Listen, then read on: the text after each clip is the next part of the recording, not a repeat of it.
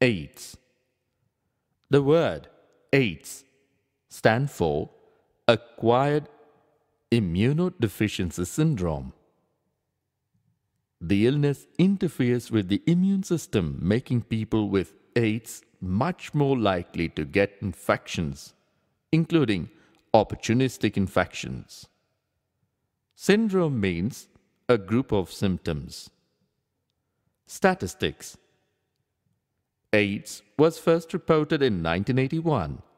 In 2009, the WHO, WHO estimated that there are 33.4 million people worldwide living with HIV or AIDS, with 2.7 million new HIV infections per year and 2 million annual deaths due to AIDS.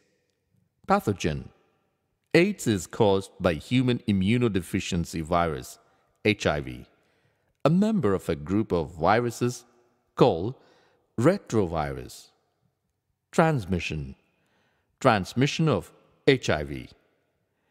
Infection generally occurs by sexual contact with infected person, by transfusion of contaminated blood, by sharing infected needles from intravenous drug abusers from infected mother to her child through placenta.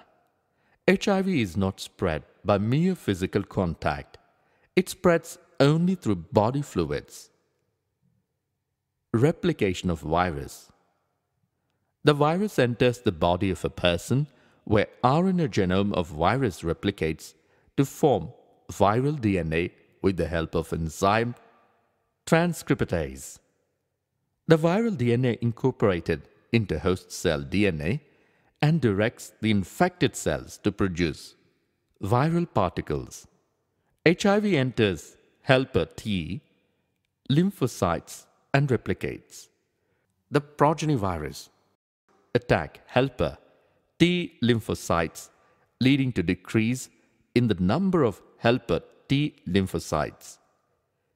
Due to decrease in the number of helper T lymphocytes, the person suffers from fever, diarrhea, and weight loss. The person becomes immune deficient and unable to protect against infections. Test Widely used diagnostic test for AIDS is ELISA, enzyme linked immuno Sorbent assay. Symptoms Fever, sweat, swollen glands, chill, weakness, and weight loss.